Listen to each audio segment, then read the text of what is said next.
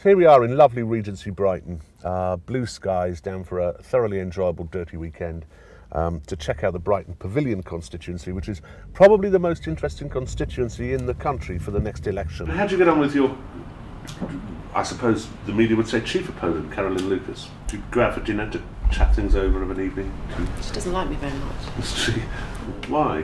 What's her I don't objection? know. I don't know. I think it's just because I'm a conservative. She has quite a, a, I would call it a dated view of conservative. She, you know, encourages people to vote Green because it's anti-Tory.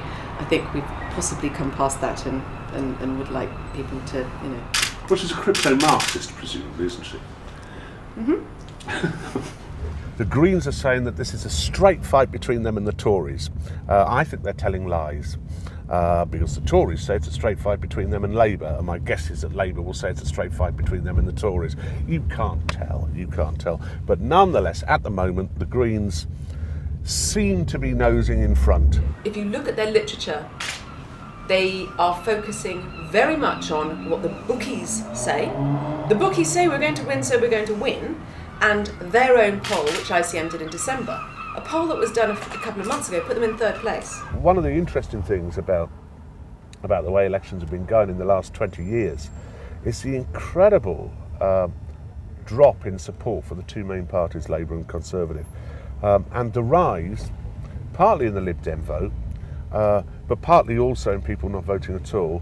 But more recently, a huge rise, an absolutely huge rise uh, from a small base uh, for people voting for fourth, fifth, sixth parties, such as the Green Party, which is why we're here. What I'm finding is that people that voted Green in the past are very open about the fact it was a protest vote and very clear about the fact that that doesn't mean they don't identify themselves with the Green Party as Green Party. Do you Party think they know. Green Party policies other than a sort of vague idea? No, it's, no, green? because it's, it's very much oppositionist. It's very much Yeah. about protest vote. You get the feeling that there is this massive disillusion with the two main parties. Difficult one for you to answer, really, but I would guess that with your liking for electoral reform and with a radical view of what an MP should be in Parliament, that actually a Green MP here wouldn't be a bad idea. It would be quite an exciting thing and a breaking of the mould.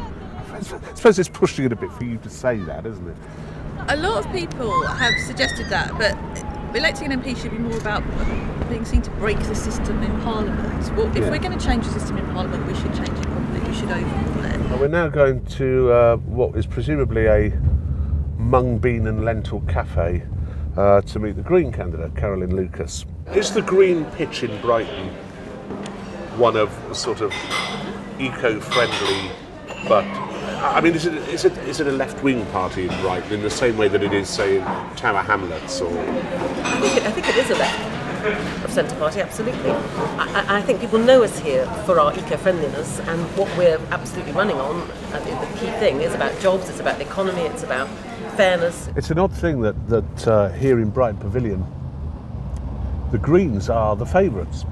Um, and not just the favourites, but they have the strongest organisation in a way. I mean, they, they don't have the money that the Tories and the Labour Party have, but they have the most practised and professional of the candidates. You know, Caroline Lucas, been around for a long time at the head of her party. The theory is always that your vote is soft, that it's there and it's been incredibly well uh, nurtured by uh, Mr Taylor uh, and by the party locally, and you've done incredibly well, but it's nonetheless soft when it comes to it.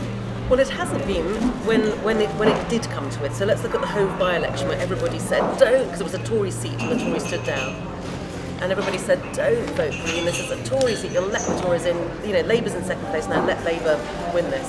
And we came from third place to win that in Hove. It's the first seat we've ever taken from the Tories. I don't think our vote is soft. It does look good for the Greens, uh, but it's it would be such an achievement to, to beat that three-party system. Uh, I wonder if they can do it. I don't know.